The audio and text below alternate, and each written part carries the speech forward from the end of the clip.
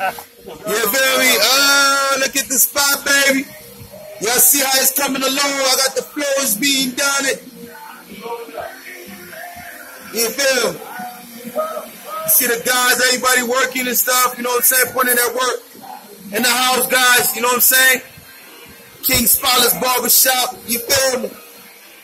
You know what I'm saying? Oh, we got a lady helping out too. Hey, say, say hi to my people, baby. You know what I'm saying? She pointed at work. Yeah, yo, she worked so hard, she done broke out, she done broke the broom.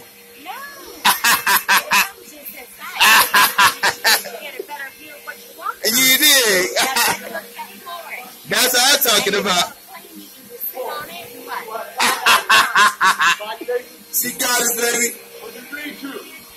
Yeah. King's Palace, man, you heard? It's my peoples. You know what I'm saying? Know that a nigga got heart. You feel me? You dig? And I'll see y'all later. Alright? Come back and see me some more. Come get your hair cut. You? I'm gonna be here cutting hair until we get the whole bitch back.